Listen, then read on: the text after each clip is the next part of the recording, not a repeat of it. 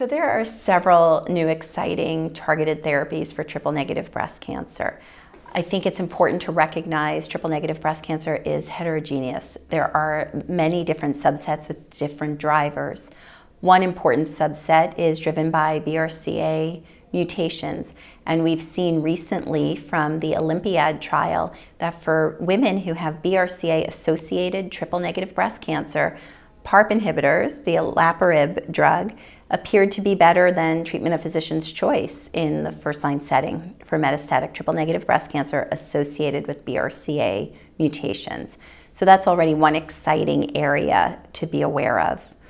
There is also a large subset of triple negative breast cancer driven by the androgen receptor. And several studies now have shown that agents such as bicalutamide and enzalutamide which inhibit the androgen receptor signaling, can have benefit and clinical benefit in women with AR driven triple negative breast cancer. Beyond that, there are several exciting agents in the immuno-oncology field, such as PD-L1 and PD-1 inhibitors.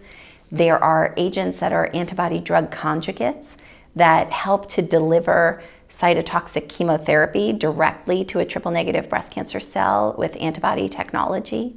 And so many exciting new areas above and beyond our conventional cytotoxic chemotherapies to be aware of and to watch out for. And I would encourage you to consider accrual to clinical trials for your patients with TNBC.